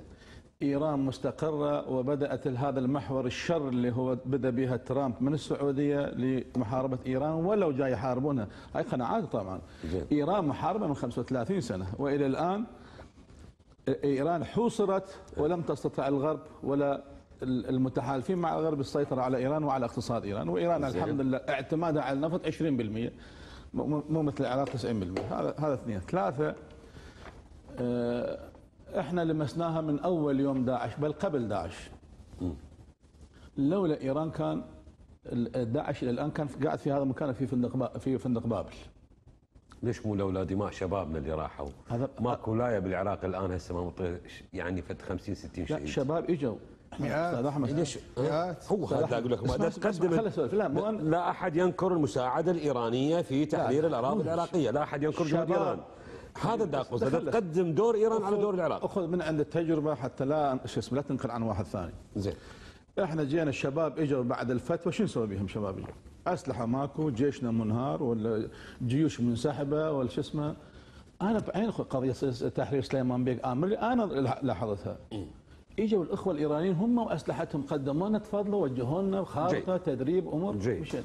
اذا كان لهم دور مو بس في هالمحاور بقية المحاور أينما ذهبت لقيت المستشارين الإيرانيين موجودين والاسلحه الإيرانية موجودة والفكر ال ال ال ال ال هذا هو حاكين. به بس خلينا نركز اذا هذا ليش ما نشكر إيران بهال شو اسمه ودولة دولة إيران شنو مشكلتها بدولة الإمام الخميني؟ ليش شنو مشكلتها يعني؟ لا لا مشكلتها إنه إنه قيادي في بدور وزير في الدولة العراقية؟ يوما بولاية الفقيه لا مؤمن؟ أنا جاي اقلد ولا- ولي الفقيه؟ أنا جاي اقلد مو أنا اقلد ال- الإمام الخميني. وهذا سؤالي إي أنا جاي اقلد هذا السؤال. وليش ما اقلده يعني؟ هذا هذا السؤال هذا هذا معتقد هذا حقك. اعتقادات. هذا حقك لكن هسه أنا أمثل جمهور واسع من العراقيين اللي يعتقدون اللي يعتقدون إنه ولاية الفقيه غير مناسبة. السؤال راح يكون بالتحديد. هل أخشى إنه هاي القناعات الشخصية قد تنعكس يوما على رؤية سياسية تتبناها بدر وتريد تطبق ولاية فقيه قد. في العراق؟ قطعا لا. قطعا لا خلص نحن نحن نعشق الإمام الخميني ك كزعيم ديني وكفقيه أعتقد ولا نريد أن تكون هناك تجربة إيرانية في العراق. هذا, هذا اللي اريد اوصل له. خلص أه، استحلام صفحتك بارده ميته أكو صفحتين عندي. صفحة اللي صفحة خاصة من 2014 مسويتها وبعدين هاملتها وصفحة إعلام النائب. أحلام الحسيني. هم لقينا بها مادة. ومن عندها راح نستوحي موضوع. يلا. نتناقش فيه. انطوني اياه هاي بال 2014 لقيتها. هاي يوم 3 3 11 2014 تمت إضافة 19 صورة جديدة بواسطة أحلام الحسيني إلى الألبوم آه، تاسوعاء العزة والشهادة. قال رئيس المجلس الأعلى الإسلامي العراقي السيد عمار الحكيم نحن في تيار شهيد المحراب متمسكين بالتحالف الوطني كإطار سياسي للعمل الجماعي المشترك. وإذا أردنا حكومة قوية فعلينا تقوية التحالف الوطني كمدخل أساس لدعم الحكومة. بوركتم يا رجال ونساء تيار شهيد المحراب يا أنصار أبي عبد الله الحسين عليه السلام. بكم نفتخر ونعتز ونكمل مسيرتنا الحسينية في الدفاع والذود عن الدين والوطن. فلقد أثبتتم أنكم حسينيو الفعل والقول وإلى مزيد من العطاء والانتصار دمتم حسينيون. لماذا يصر المجلس الأعلى على استخدام أو است- استغلال الشعائر الدينية الحسينية بالتحديد لتسويق خطابه السياسي؟ اولا يعني استغلال هذه الكلمة ما لا استغلال. يعني آه، لا وإنما هي قضية الحسين قضية نحن نشأنا عليها كتيار وكعراقيين يعني زين. العراقيين اليوم كلهم محبين لأبو عبد الله الحسين وكلهم إن شاء الله نتمنى أن يكونون على منهجه باعتبار إنه قضية الحسين هي ليس قضية آه، ثورة وانتهت وإنما هي قضية للإنسانية وبالتالي أنا أعتقد عندما يصنف الإمام الحسين للشيعة فقط هذا أكبر غلط وإنما هو للإنسانية ككل. ولذلك من منطلق ثوابت ومبادئ آه، تيار شهيد المحراب هي الشعائر الحسينية. يعني إحدى مرتكزات اللي أقام عليها التيار هي إحياء الشعائر الحسينية. لذلك أعتقد ما تحتاج إحياء؟ في ظل جو الحرية الموجود يعني ال 20 مليون زائر اللي يروحون مشي كربلاء ما يحتاجون المجلس الأعلى يدليهم كربلاء وين؟ لا هو مو القصد إنه ليش؟ يدليهم يقدرون يحيوها. أو المجلس الأعلى يحيي إحنا نعم. نفتخر أن نحيي الشعائر الحسينية ولكن هو منهج لتيار شهيد المحراب ومنهج هو ليس منهج لقلقة لسان وإنما منهج ثوابت ومبادئ مرة أخرى هاي عقيدة هاي يعني عقيدة تحترم مثل ما احترمنا عقيدة مثل ما احترمنا عقيدة و- وبالتالي عقيدة. نعتقد إنه من يعني أنا ما ناقش هذا الموضوع، ثوابتنا أناقش إنه ومبادئنا خطاب سياسي لا يلقى في مظلومية يعني لا إنه خطاب سياسي وتسويق لبرنامج سياسي يلقى في مناسبة دينية. تاسعة, تاسعة آه، كانت هي من يعني متبنيات تيار شهيد المحراب وبالتأكيد يعني شهيد المحراب السيد محمد باقر الحكيم وبعد سماحة السيد عزيز العراق. كانت من ثوابتهم أن يكون تاسعة باعتباره أنه يوصل رسائل كثيرة من خلاله وجزء جزء من آه، قضية الإمام الحسين هي قضية سياسية وبالتالي أعتقد من خلالها أنت ممكن أن تطلق مشروعك السياسي، يعني قضية الحسين ليس بعيدة عن ال- الوضع السياسي اللي إحنا نعيشه الآن. وبالتالي أعتقد هي فرصة لأن تطلق أنت رسالتك السياسية أو برنامجك السياسي. ويعني قضية الحسين وسلام الله عليه وقضية استغلاله أعتقد هذه غير صحيحة وإنما هي من متبنيات كل العراقيين ومتبنيات ستيام شهيد مطلعه الإسلام. وتشوفين ردود فعل عندك مجسات ممكن تتابعين تواصل اجتماعي وتشوفين إيش قد إنه الإسلام السياسي جاي يهاجم بهاي النقطة ليش جاي يصرون عليها؟ يعني الحقيقة هذا فد موضوع آخر أيضا هناك من حاول أن يسيء للإسلام من خلال أنه يلقي بكل تراكمات الظروف اللي نعيشها ووضعها من 2003 إلى حد الآن على الإسلاميين بينما الجميع تجده هذا موضوع مشارك آخر. في العملية السياسية هذا موضوع وبالتالي آخر. اتهام الإسلام هذا السياسي موضوع هذا آخر غير صحيح الشارع يهاجم هذه النقطة بالتحديد ليش ما تغادروها؟ هناك من يروج لها نحن نؤمن بدولة مدنية عادلة دولة مؤسسات مبنية على أساس المواطنة. وأعتقد هذه أيضا من ثوابت الإسلام. يعني شنو هو ال- الكنائس؟ ويحضر إلى مراسيم الكنائس في المواسم أستاذ أحمد يعني آه، إذا إذا آه، تطلع يعني آه، حقيقة وتتابع أنا قبل فترة أقرأ آه، حول استراتيجية الولايات المتحدة ل 100 عام. أجد إنه الولايات المتحدة مبني دستورها أيضا على أساس الدين، لماذا اليوم إنه إحنا نتهم ال- ال- القوى السياسية الموجودة في العراق إنه هي تستند على الإسلام كمنهج في رسم سياسة العراق أو في حفظ النظام السياسي الموجود في العراق، بينما كل الدول في أوروبا في الولايات أيضا هاي نقطة بعيده أن تعتمد أيضا حتى في نقطة دستورها على أيضا الدين. نقطة بعيدة وعما عما أثرت الآن. استثمار صار ال- المصطلح مو استغلال استثمار. الشعائر الحسينية بالتحديد لتسويق الخطاب السياسي والبرنامج وهو السياسي يشرفنا أن هم يجوز نستثمر. قضية لا يعني حقيقة لا حركة شيعية لا بالعكس. يعني؟ يعني حركة شيعية يعني- ليش ما هي يعني إحنا يعني. إحنا أعتقد مش- مشروعنا دكتور. يا الشارع غاضب من هاي الأمور. لا إذا تسمح لي أستاذ إحنا مشروعنا. ليس مشروع مع آه، يعني جل احترامنا للمكون الشيعي وإنما مشروع بناء بلد ومشروع عراق. وبالتالي الشيعة هم جزء من العراق. ولذلك أعتقد إنه قضية الإمام الحسين اؤكد عليها إنه قضية إنسانية وقضية بها آه، لا إحنا إحنا وياك مو استثمار. مشاركة مع مع الزين يعني. طبعا. وهذا اعتزاز أيضا. رموز أنت شيعية. بانتمائك وقفتوا وياها كلكم ضدي. بس أستاذ ساكت عبد. ساكت مع مع العلم أني هواية يعني مع الدكتور ولكن هو وقف إلى جانب وقف لا جانب هسه راح أخربكم. هسه راح أخربكم. هسه لا لا إن شاء الله. ما عندنا انطوا لي الفيسبوك مال السيد لقمان الفيلي. خير إن شاء الله. أي شوي يسحبون الصورة كتابة بعيدة؟ آه، عود بعدين نركز على الصورة. هاي يوم آه، 16 مايو يعني 16 5 مو؟ آه، هل مثل هذه الاجتماعات ومعالم الوحدة تساعد على ردم الفجوة المجتمعية أم أنها مظاهر سياسية فقط من جانب آخر هل نحتاج أن نبدأ بحرائق لنشخص مدى مقدرتنا على إطفائها أين نحن من تعلم ثقافة السلامة الاستباقية؟ أين المتابعة والمحاسبة والمساءلة للمسؤولين لمسؤولين المؤسسات الدينية والسياسية والاجتماعية أو حتى العشائرية وهي تخلق أزمات بين أبناء الوطن الواحد. ألا توجد مسؤولية على المسؤول والقيادي أم أن الموقع يعطيهم فقط المخصصات والصلاحيات وإلى آخره؟ أسئلة حائر يبحث عن حقيقة فهل من مجيب؟ لقمان الفيلي. طلعوا لي الصورة. هاي الصورة تعليقا على الاجتماع الشهير اللي صار قبل فترة قبل شهر تقريبا من جمع السيد عمار الحكيم وال- رئيس التحالف الوطني. زعماء. حول شنو؟ ها؟ موضوع شنو كان؟ الموضوع انت كاتب. والله ما ادري انت قول لي. لا لا موضوع الوقف الشيعي. انه صار حديث بأنه فيديو قديم إيه. للسيد المسؤول عن الوقف الشيعي. إيه. فصار فصار هذا الحوار. زين.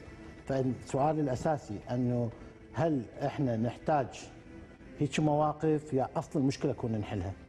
اللي بال- المشكلة؟ أصل المشكلة بأنه إحنا الآن كثير من من الازمات الله الف خير سيد عمار من جماعة. لا، لا، ما له علاقة بسيد لا لا عمار. لا صارت أزمة. مو تتذكر سيد- وأنا سويت حلقة واستضافيت آه، من المسيحيين من المسي... الوقف المسيحي واستضافيت أيضا من ال- آه، أطراف أخرى. صار حريق أنا. خلقته. أنا خلقت الحريق كان موجود. ها؟ كان موجود حريق يا لا. أيوه طفاه سيد عمار بهذا الاجتماع. نخل الحريق السابق من يطفاه حريق اللاحق من يطفاه ح- الحرائق اللي عندنا من يقدر يطفيها؟ ليش بدنا نعيش حالة ثقافة الحرائق؟ زين ارجع لي ارجع والله ارجعوا لي على على الصورة. اعطوني أول سطر أول سطر أول سطر بعد بعد بعد بعد. مظاهر سيا أم ان أم أنها مظاهر سياسية فقط؟ أي. شنو قصدك بها؟ كحالة عامة ما متعلقة بسيد عمار متعلقة كحالة عامة أنا أقولها. زين. أنه فلان يزور فلان أو فلان يزور مستشفى معينة أو ما شابه ذلك. أنا بقراءتي الطريقة اللي نتعاطى بها السياسيين مع الأحداث مو طريقة حل مشاكل وإنما استغلال ظرف لسبب معين عندهم. مو حل المشكلة الأساسية.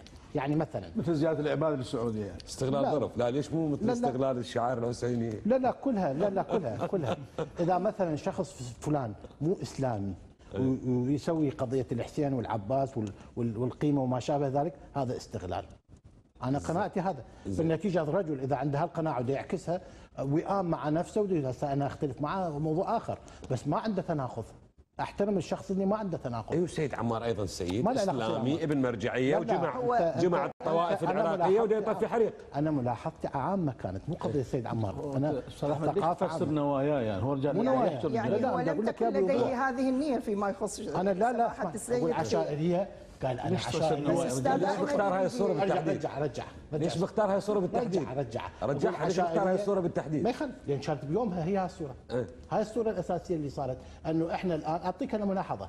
خلي أعطيك ملاحظة أساسية. المسيحيين إيه. وراء هذا الموقف كل هذا الموقف في الجاليه الامريكيه في أمريكا إيش قد اتصلوا بي وما شابه ذلك؟ قالوا إحنا نريد س- موضوع نينوى خليه يصير. اقليم نينوى يعني يعني إيجابي هذا؟ لا مو إيجابي. أنا قناعتي إيه. قناعتي. هذا شيء بسيط أمام المشكلة أساس المشكلة. أساس المشكلة أنه الآن إحنا ما الحريق ما يصير مو يصير واطفيه اي بالضبط. الحريق ما يصير. اي فأنا إيش أقول؟ أقول اجتماعية عشائرية كلها قلت أنا ما ذكرت دينية فقط. زين. مو دينية فقط.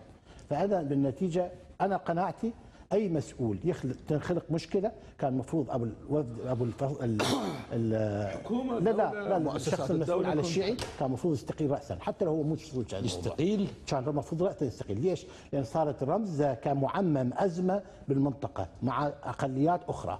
الموضوع متعلق بدور يستقيل لأن مفسر آية موجودة بالقرآن لا قبل لا ثلاث لا لا سنين. مو هاي. يستقيل؟ لا لأنه صار هو جزء من مشكلة. أه؟ أنت المشكلة تكون تحلها. الإيثار تتطلب من أي مسؤول بالدولة العراقية عندما تصير أي مسؤولية أن هو جزء من المشكلة يكون يستقيل وإلا تفجيرات راح تستمر ماكو معاقبة ما شابه ذلك. هاي المشكلة اللي عندنا.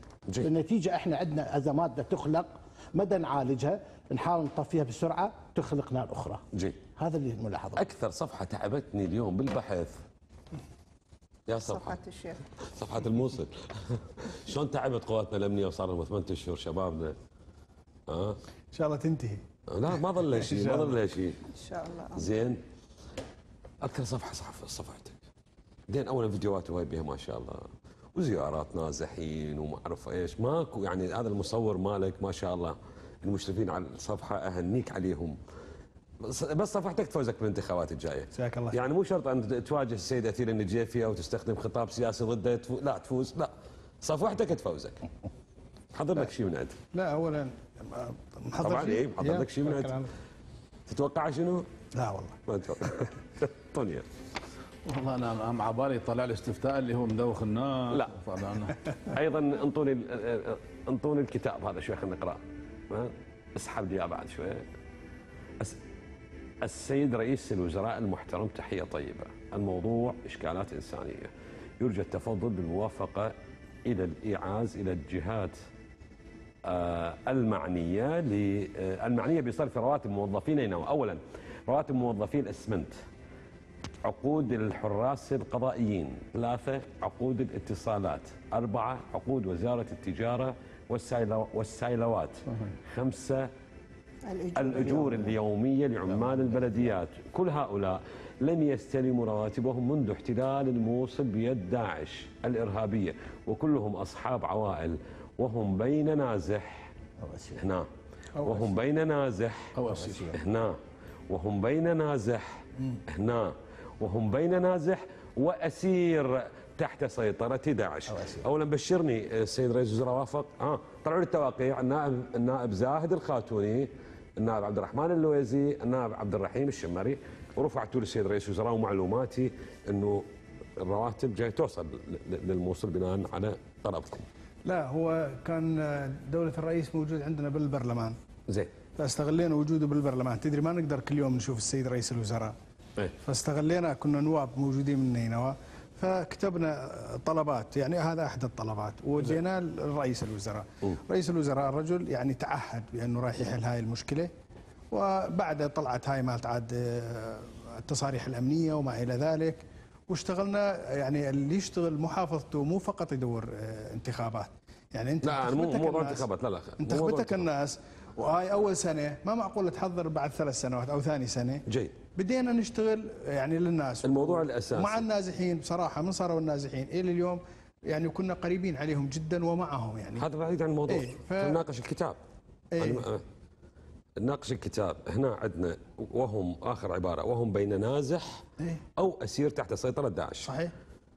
النازح يعني غصبا عن الدولة وغصبا عن الحكومة أن توصل له الراتب زين. أسير عند داعش غير منتمي لداعش غصبا عن الدولة وغصبا عن الحكومة توصل له الراتب. لأنه مو هو سبب سقوط لا بس أكو قرار يعني. مو هو سبب سقوط نينوى. هذا هذا المسكين الاسير قرار من مجلس لكن تقدر تضمن لي 2014 قرار. تقدر تضمن لي أنت والسيد زاهد الخاتوني والسيد عبد الرحمن اللويزي وحضرتك تضمنوا لي إنه ماكو راتب راح لشخص انتمى لداعش بعد سقوط الموصل؟ هي اولا تقدر تضمن لي؟ هي اولا كانت آه، الرواتب بداية الأمر يعني تصل إلى الموصل. في أول شهر شهرين كانت لا، تصل إلى 2014 توقف يعني بعد فكانت كانت تصل كانت تصل إلى الموصل. وكان هناك يعني معلومات أمنية كاملة عن من انتمى مع داعش عند الأجهزة الأمنية ومضبوطة كانت الشغلة فكانت تصل. جاء قرار من رئاسة الوزراء أعتقد بأن مجلس تقطع الوزراء. مجلس الوزراء. تقطع الرواتب كامل. تدري ذولا يعني آه، الأسرى مثل ما تفضلت أنت ذولا مو ذنبهم. خولوا بعض الوزارات مو مثل ذنبهم الصحة إنه يعني بعد آه، التشكيك لا الأمني. مو ذنبهم إنه دا- داعش احتلت مدني أنا مو- موظف مدني بالزراعة ولا بالبلديات جيد حقهم. إيه فكان هذا الموقف اللي ردناه من آه، رئيس الوزراء اولا لسببين، السبب الأول يحسون المواطنين الأسرى اللي موجودين تحت داعش بأن هناك حكومة مو ناسيتهم مو مخليتهم على إجراء يجب أن. تقوم به الحكومة سيد عبد الرحيم إيه. بس خلي يعني باقي لي ثلاث دقائق حتى نركز تقدر تضمن لي إنه راتب. اذا واصل راتب واحد إلى داعشي أنا أقدر هسه اقيم عليك دعوة وأقيم على رئيس الوزراء دعوة بانه تمولون الإرهاب إذا واحد داعشي وصل واحد كان هناك أقيم عليك دعوة وأقيم على رئيس الوزراء دعوة أنتم تدعمون الإرهاب لا هو كان هناك فلتره من قبل الجهات الأمنية وكانت مضبوطة والله. زين. يعني حتى اللي كانوا مش- مش- مشخصينهم بأنهم دواعش. بشرط بشرط فعلاً- فعلاً- التشكيك الامني فعلا طلعوا دواعش فعلا طلعوا دواعش وهسه ما يقدرون يوصلون إلى المكانات المحررة انهزموا أغلب الموجودين كانت- رواتب؟ فكانت هناك معلومات عشان توصلهم رواتب آه، كانت هناك معلومات دقيقة جدا من قبل الأمن الوطني من قبل المخابرات على هؤلاء وكان هؤلاء شخصيا ما يستلمون الرواتب وإنما الأغلبية كانوا 90% منهم اليوم أنا أشوف فيديو. فيديو لأحد زملائنا بعد ما قواتنا الأمنية اعتقلت داعشي يقول له أنا متقاعد ولحد الآن أستلم راتب التقاعدي. المتقاعدين صحيح المتقاعدين آه، متقاعد داعش يستلم راتب. المتقاعد مو داعشي لا العفو. بس أنت ما خليته يدخلنا بالمديح حول صفحته يعني. إيه ما ما ما اعطانا يعني مجال هو بالعكس، تفضل. خيرا في مدح صفحته مو بالله دكتورة؟ أنا تصورت الشكل تفضل فأخوي العزيز أنا ما أؤمن بالعقوبة الجماعية ما أؤمن ولا أؤمن بالاتهام العام. ما أؤمن بهذا الشيء ولهذا أردنا لأهل الموصل أن يأخذوا رواتبهم لحد الآن أهل الموصل لحد هسه آه، بعد التحرير كثير من أهل الموصل ما يستلمون رواتبهم بين وزارة المالية بين الوزاره المعنيه مسؤوليه بين الجهات. الأمنية مسؤولية إيه، الحكومة بصراحة أن توصل الراتب لكل هاي صار خمس اشهر ست لكل أشهر. مواطن اسير حركة يم داعش. إيه. ومسؤولية الحكومة الحكومة أن توصل الراتب لكل نازح لأن مو ذنب انه الموصل سقطت مرة ثانية أكرر لكن مسؤوليتها أيضا أن تتحملها وصل راتب إلى داعشي ومسؤوليتك أيضا لأن أنت وزملائك الآخرين لأن أنتم أصحاب المشروع. أنا غير نادم هسه يعني آه، غير نادم على هذا التصرف. ومصر على أنه أهل الموصل يجب أن يستلموا رواتبهم. وهناك أجهزة أمنية تعرف الداعشي من المسؤولة. غير الداعشي هي طبعاً- المسؤولة. طبعا هم المسؤولين طيب.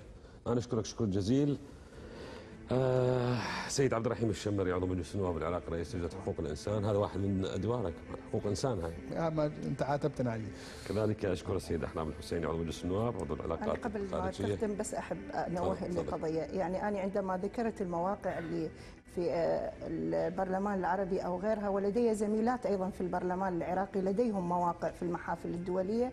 أؤكد على ضرورة آه، أن يفعل دور المرأة في آه، السياسة الخارجية العراقية للمرحلة المقبلة إن شاء الله الدو... الحكومة القادمة إن شاء الله وزيرة خارجية لا. مو أنا وزيرة لا خارجية لا مو حضرتك لا لا يعني. إمرأة إمرأة إمرأة وزيرة إن شاء خارجية إن. شاء الله أشكر السيد محمد مهدي البياتي عن منظمه بدر مرة ثانية ظلمت التركمان بالوقت وكذلك أشكر السيد السفير مولفي سفير العراق السابق في واشنطن. شكرا لكم. أخوة الفيلي هالمرة الفيلي نصاب خلي والله. وقت البرنامج. معهم قلبا وقالبا شكرا جزيلا لكم اثنين شكرا مشاهدينا نشوفكم باكر إن شاء الله.